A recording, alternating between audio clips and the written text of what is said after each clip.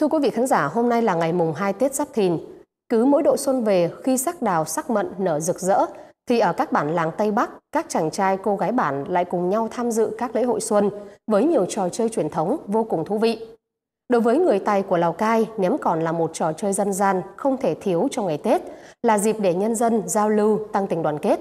Mời quý vị và các bạn cùng đến với bản làng vùng cao của Lào Cai để hòa vào không khí Tết của bà con người Tày và tìm hiểu về trò chơi độc đáo này. Ngày cuối năm vừa qua, bà Hoàng Thị Lâm tất bật may quần áo Tết. Trang phục Tết của bà con đặt may rực rỡ hơn hẳn ngày thường. Những vải vụn đủ sắc màu được bà Lâm gom lại để cho chị em trong thôn làm quả con đón xuân. Cái vải ờ, vụn, ờ, vải xanh, vải đỏ các loại màu ấy thì bỏ đi thì mình lại tận dụng làm cái cái cái cái cái còn ấy.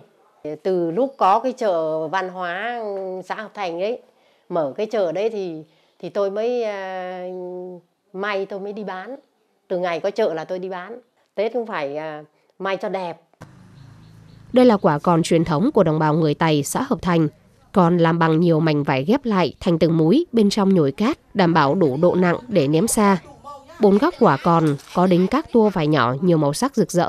Nhìn tưởng chừng đơn giản nhưng không phải ai cũng có thể làm được quả còn đẹp, cân đối như thế này. Nhìn thì rất là đơn giản, vâng, làm về thì nó lại rất là nhiều công đoạn, vâng, rất rất là kỳ công, làm cho nó đủ màu đủ sắc thì nó mới à, mới mới đẹp ấy thì như thôn cô thì thỉnh thoảng có mấy người biết làm thôi ạ. Bãi ném còn được dựng ngay sân nhà văn hóa giữa không gian ngập sắc xuân.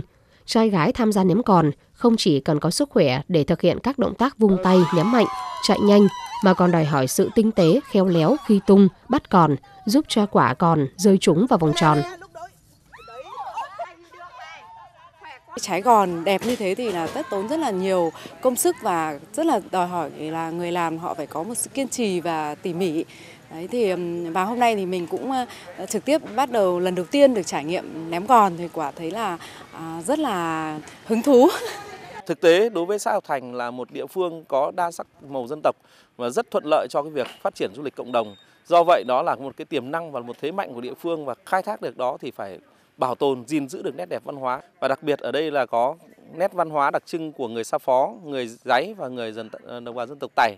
Và đặc biệt là ở đây thì trong cái thời gian vừa qua thì các lễ hội xuống đồng hay là lễ hội ờ, cúng rừng của người Giấy hay là ờ, các cái lễ hội khác thì ở đây thì chúng tôi đã quan tâm đến cái việc là phục dựng lại các cái nét truyền thống văn hóa. Bên cạnh đó thì sẽ tạo tiền đề cho phát triển du lịch cộng đồng tương lai của xã. Với bà con người Tày ở Hợp Thành, ném còn ngày xuân còn mang ý nghĩa cầu mùa. Quả còn đủ màu sắc bay vút lên không trung là biểu tượng của rồng tượng trưng cho hồn núi, non, sông nước. Với mong muốn mưa thuận gió hòa, năm mới mùa màng bội thu, nhà nhà ấm no, hạnh phúc.